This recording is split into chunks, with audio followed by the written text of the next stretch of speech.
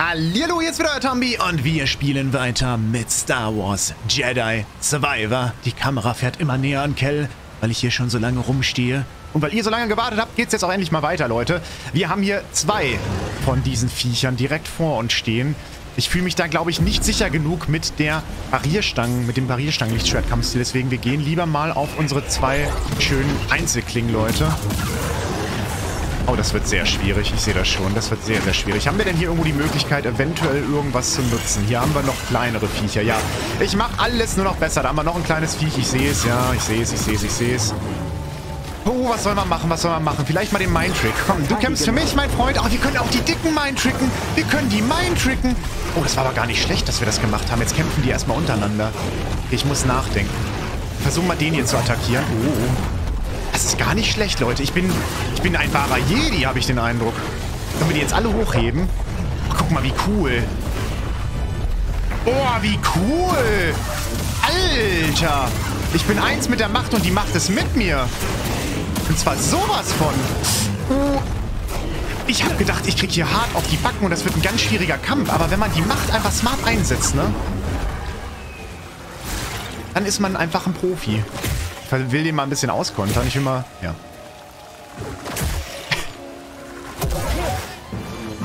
Nee, schade. Ich hatte gehofft, da kommt jetzt irgendwie so eine coole Kill-Animation. Das wollen natürlich auch immer viele sehen. Ne? Wie sehen die geilen Finisher aus? Muss man mal ein bisschen, muss man mal ein bisschen drauf achten, dass wir das vielleicht noch häufiger mal hinkriegen. Was können wir denn da machen? Ach, da war so Geröll. Mal sehen, ob Doma daran Interesse hat. Ah, okay, das hatten wir auch schon mal gesehen. Da hatte ich mich gefragt, wie man das macht, aber da hatten wir die Machtfähigkeit auch noch nicht. Sehr gut. Leute, wir sind auf dem Weg auf jeden Fall zu dem Hauptziel. Und jetzt ist die Frage, was ist denn hier unten? Das sieht schon wieder so krass aus, Mann. So, hier kommt wieder die Pause-Taste zum Einsatz, Leute, denn ich bin ein bisschen lost. Das Ding, was ich da angucke, ist die Rätselkammer. Ich bin da nochmal runtergelaufen, ihr habt absolut nichts verpasst. Es äh, wird einfach wieder hierher gecuttet, ne? Naja. Okay, let's go, liebe Leute, let's go. Ah, Nimmst du mit? Thomas Laden verkaufen. Okay, wieder mal ein bisschen Jump and Run mäßig durch die Gegend kommen.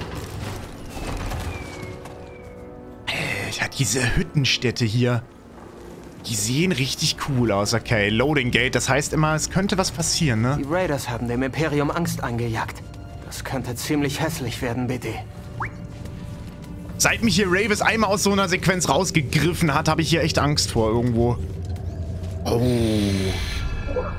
Neblige Weite. Die Sicht ist ziemlich schlecht. Da müssen wir durch. Ich habe schon mal gesagt, ne, bei diesem Lavagebiet. Hobo haben die schön designt. Da kann man echt nichts gegen sagen. Die haben super viel Abwechslung drin. Finde ich gut. Finde ich, finde ich sehr, sehr gut. Kennt man normalerweise aus Star Wars gar nicht unbedingt so sehr, ne? Häufig hat man da einfach Planeten, die dann wirklich ein einziges, ja, Biom, wie soll man das denn sagen, ne? Also Tatooine ist, ist komplett Wüste. Eine Energieleitung. Dafür hast du nichts dabei, oder?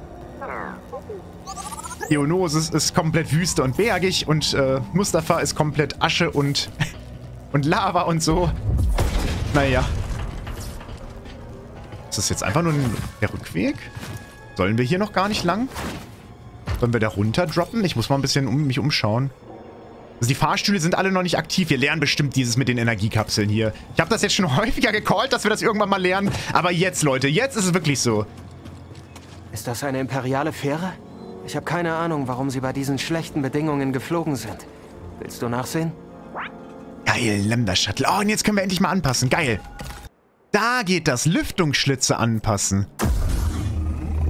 Ja, guck mal, da können wir wirklich die... Wöl oh, das ist cool. Wir können das sogar so nach oben... Warte, wir können es auch ausmachen? Nee. Okay, wir können es aber so nach oben machen. Das finde ich, find ich eine coole Nummer, oder? Beeinflusst das Gameplay nicht, steht auch dabei. Okay, Klinge haben wir ein bisschen umgeändert. Ach, was mir auch mal gesagt wurde, ich soll mal wirklich versuchen, dieses Zocker-Ding reinzunehmen. Ich bin mal gespannt. Da soll man ja eigentlich nach dem Tod die Erfahrung verlieren. Aber gut, wir nehmen das mal. Come on. So, zusammengepaart mit Weisheit, wir sollten jetzt richtig dicke Erfahrung kriegen, beziehungsweise Bonuserfahrung. Ich hoffe, das lohnt sich. High Reward, aber auch High Risk irgendwo, ne? Ich kann den Lift von hier nicht holen. Okay, hier kommen wir auch noch nicht weiter. Es sind so viele von diesen Energiekapseln. Ich bin mir fast sicher, dass wir das kriegen. Das Lambda-Shuttle sieht auch cool aus. Hier haben wir später eine Abkürzung. Ich glaube, das ist der einzige Weg, den wir haben. Das ist der Weg. Wir werden auf jeden Fall auch so ein bisschen weiter auf die Parierstange gehen. Ich versuche immer alle Kampfstile irgendwo so ein bisschen weiter zu lernen. Geil. Und weiter mitzunehmen. Ja, sieht man auch, das ist so ein bisschen gebogen. Also, ne, dieses, äh, diese Lüftungsschlüsse sind ein bisschen anders. Ja, das war's nicht. Man muss da so ein bisschen mehr auf Range spielen, habe ich den Eindruck, ne? Er hat eine sehr, sehr hohe Reichweite vom Schlag, aber die braucht auch eine ganze Weile, bis er rauskommt. Können wir den parieren? Ja. Ja, ne? Die Kugeln, die sind's jetzt nicht. Come on, den stechen wir mal ab. Den können wir nicht abstechen. Das geht nicht. Ja, das meine ich jetzt. Und das sieht so, das sieht so dämlich aus. Jetzt verliere ich hier gegen so eine dumme Kugel, Mann. Ach, der ist so langsam. Aber gut, da muss man mit klarkommen. Oh, ein Wanderer in dieser Einsamkeit. Hallo. Was machst du hier? Oben Metall, unten Nebel. Wir verstecken uns dazwischen. Du versteckst dich hier? Die Raiders sorgen zwar für Lärm, aber so leicht übertönt man das Imperium nicht. Also warten wir ab, wer letztlich am lautesten ist. Okay. Pass auf dich auf. Das gilt auch für dich. Und dich. Und dein Gong-Druid ist cool.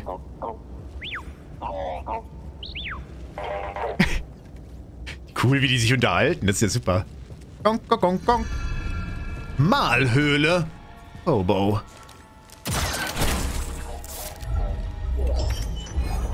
Verbannter. Ich bin ein Verbannter. Ja, sieht eigentlich ganz cool aus. Vielleicht mit anderen Farbkombinationen, oder? Sieht so ein bisschen Jedi-mäßig aus. Nehmen wir mal bestimmt, wenn wir irgendwie andere Farbkombinationen dazu finden. Sind denn eigentlich die Kisten gerandomized, frage ich mich? Kriegt man aus den Kisten immer das gleiche an den gleichen Orten? Wahrscheinlich, oder? Aber vielleicht ist es ja auch in irgendeiner Form so ein bisschen gerandomized. Wer weiß. Ja, mal schreiben, wenn ihr es wisst. Okay, was haben wir hier hinten? Was erwartet uns hier? Es sieht alles so einöd aus. Hier war früher sicherlich ein lebhafter Ort. Jetzt ist es eine Geisterstadt. Ja. Lass deine Sensoren laufen, BD. Ich traue diesem Ort nicht. Wo kommen jetzt hier wieder so Horrorpassagen, wo die hier auf mich warten und so. Aber finde ich auch wieder cool, dass wir hier erstens natürlich wieder gegen Imperiale kämpfen. Das ist in dem Spiel hier... Es, ist, es, es, hat, sich, es hat sich ein bisschen gezögert, gezögert, ne?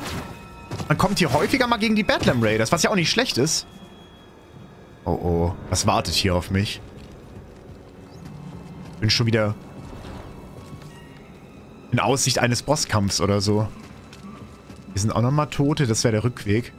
Mir schon bewusst, ich wollte mich nur nochmal umschauen. Oh. Oh, sieht das cool aus. So schattenmäßig. Kommt der langsam angestapft. Ich will noch gerade scannen, mein Freund.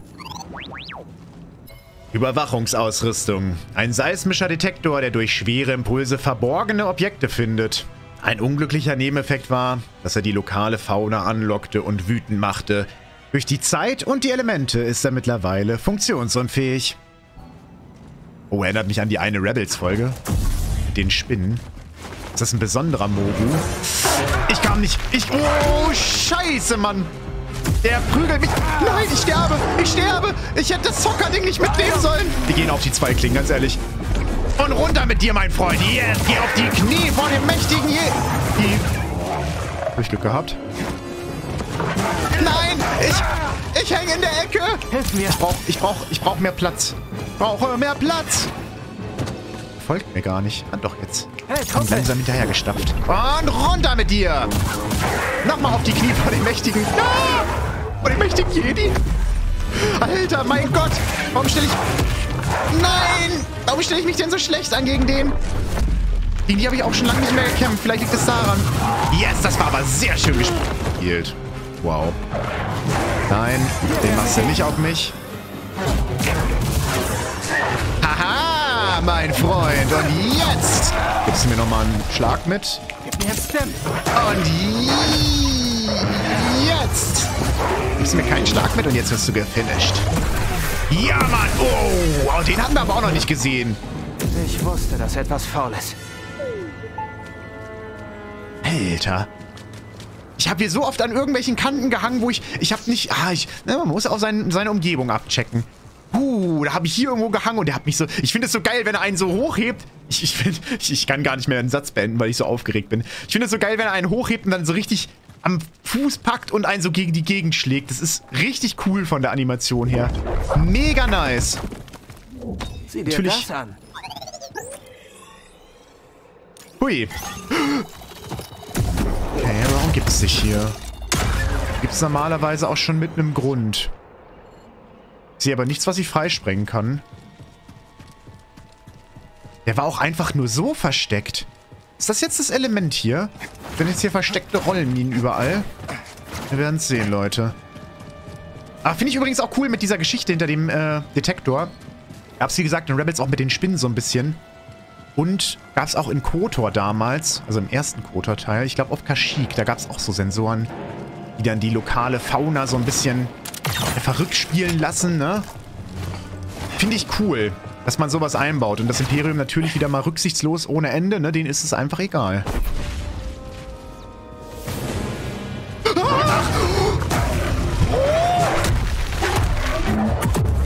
Scheiße!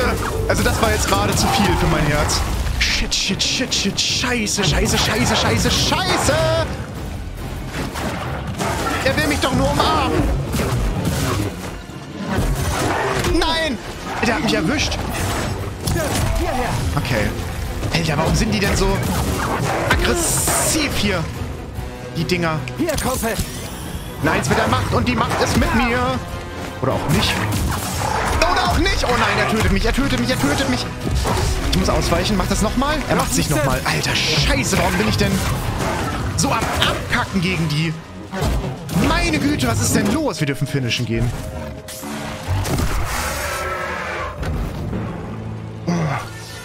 Ich stelle mich gerade nicht gut an, das gebe ich gerne zu. Der hat mich aber auch eiskalt erwischt.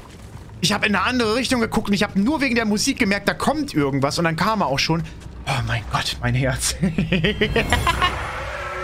Shanna! Wir müssen weg!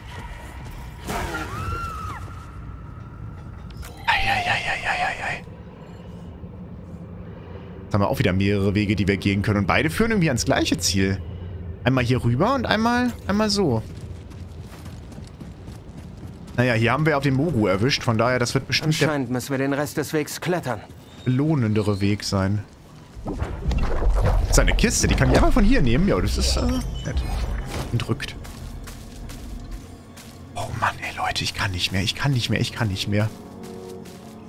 Ich muss besser werden, Mann. Ich muss wirklich sowas von besser werden. Das Spiel zieht aber auch gut an mit dem Schwierigkeitsgrad. Das kann man auf jeden Fall sagen. Deutlich schwieriger, immer wieder. Was auch gut ist, ne? Sicherer als zu Fuß. Das gehört einfach zu Experience dazu. Ich weiß, viele Leute wollen einfach ein lockeres Game haben, was einfach mal so ein bisschen... Oh, oh, das war ein Fehler.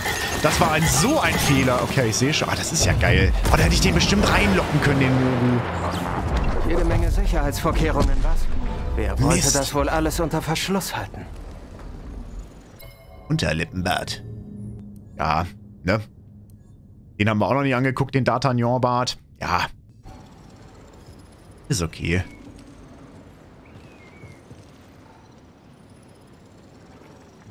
Wie komme ich da hin? Es sieht so aus, als könnte ich hier runterrutschen. Das gucken wir uns gleich mal an. Warte mal, können wir jetzt mal ganz smart hier den Scanner auspacken? Erste Mal, dass ich das mal smart mache. Was ist das? Gallenschlund. Ah, ist so einer. Cool. Cool, cool, cool. Ja, wir können hier runterklettern, das habe ich gesehen. Und von hier aus können wir da runterrutschen. Wir haben zwei Stims, Leute. Wir haben zwei Stims, Leute. Wir haben zwei Stims. Das ist doch ein besonderer, oder? Ich bin so ein Vollidiot. Nein! Ich bin in den... Ach du Kacke! Ich werde meine Erfahrung verlieren, Leute. Ich werde sie verlieren.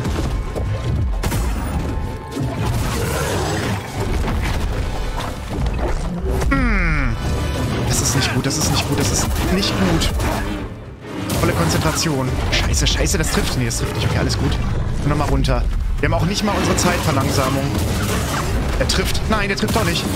Nein, oh, ich bin so panisch, Mann. Alles ist gut. Ich stelle mich eigentlich ganz gut an, muss ich sagen. Und weg, weg, weg, weg, weg. Okay, alles ist super, alles ist super. Hier ist alles super. Hier ist alles cool, denn du bist nicht allein. Wir nehmen jetzt mal einen Sim. Ich, ich brauche die Macht. Ich brauche die Macht. Ich versuche das hier so locker wie es geht nur runter zu spielen. Das war zu lang, das war zu lang, ich hab's gemerkt. Nein, nein, nein, nein, nein, nein, nein, nein, du machst mich jetzt nicht noch fertig. Du machst mich jetzt nicht noch fertig. Come on, finish ihn. Ja! Oh! Mosey hatte recht. Das Ding war übel. Oh! Leute, bin ich gerade froh. Abscheulicher Gallenschlund.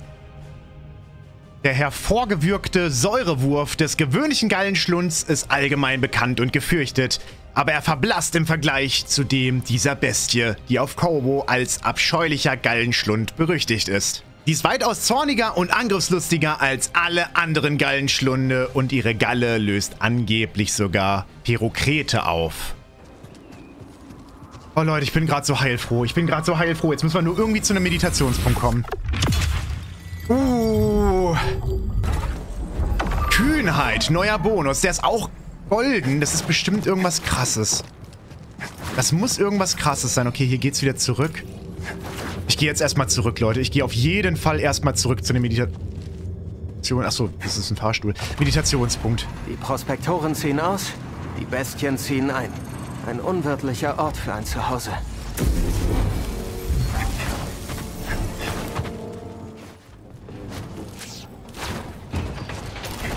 Nein, hier kommt man gar nicht weg, oder was? Man kommt nicht zurück hier. Nein, ich muss mit dem Leben weitermachen. Nein. Oh, bitte lass mich nicht sterben.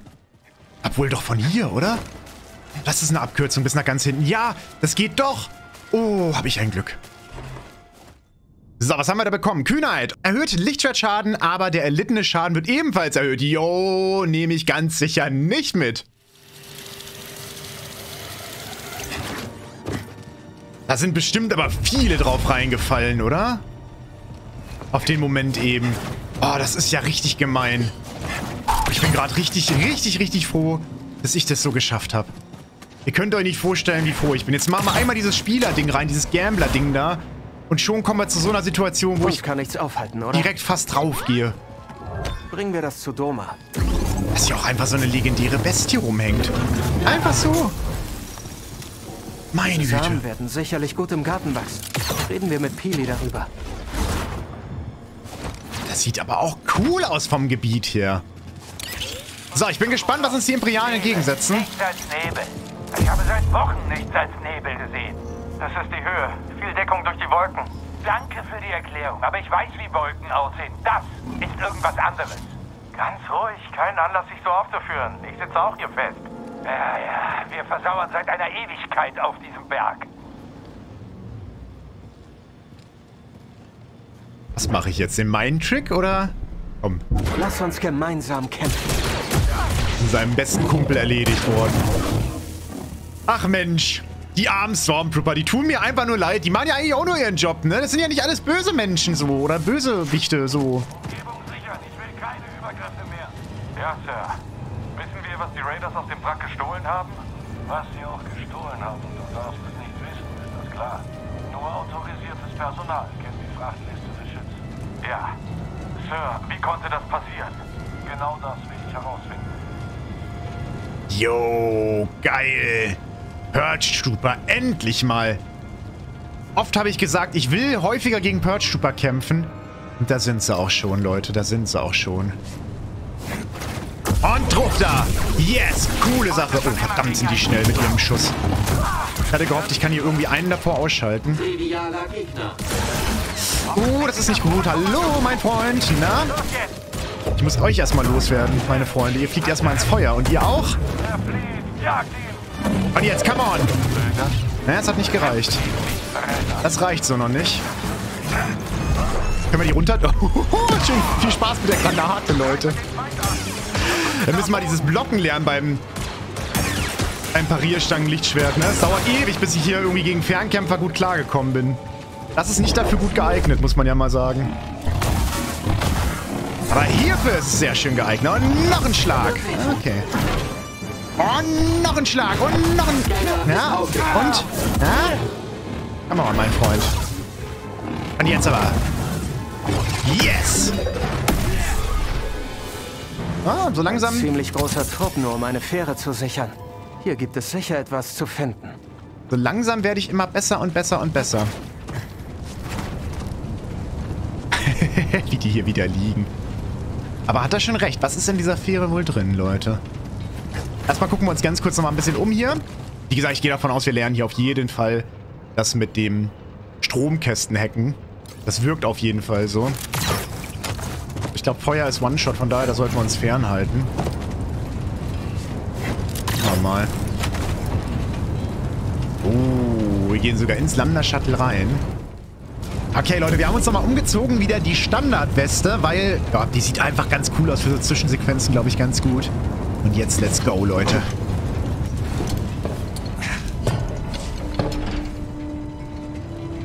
Alter. Es sind aber auch ganz viele Purge-Trooper drin. Oh, oh.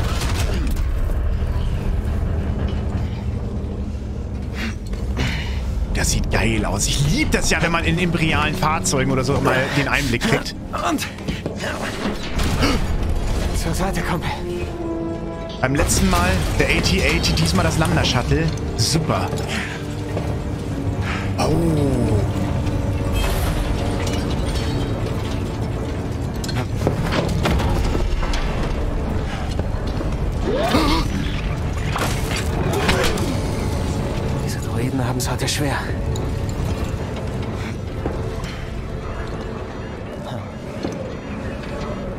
Auslöschungstruppler.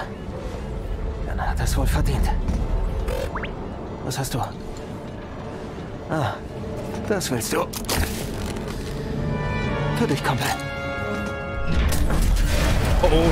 Was wird das? BD.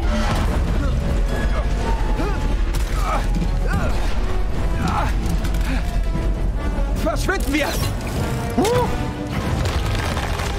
Oh.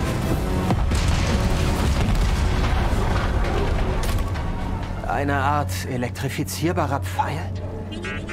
Vielleicht solltest du beim nächsten Mal einen Scan machen, bevor du das Feuer eröffnest. Ah, jetzt haben wir das gelernt. Elektrofile freigeschaltet. BD-1 kann jetzt Pfeile abschießen, der bestimmte Objekte überlädt. Durch den Pfeil von BD-1 lassen sich zudem gegnerische Druiden außerhalb des Kampfes leichter hacken. Nice. Cool. Okay, damit können wir jetzt auf jeden Fall ganz viele neue Bereiche erkunden und hier geht jetzt irgendwie was ab. Alles klar, Leute. Aber damit würde ich sagen, das war es jetzt erst einmal mit einer weiteren tollen Folge von Star Wars Jedi Survivor. Beim nächsten Mal geht's hier spannend weiter. Vielen, vielen Dank erstmal fürs dabei sein. Bis zum nächsten Mal und ciao, ciao.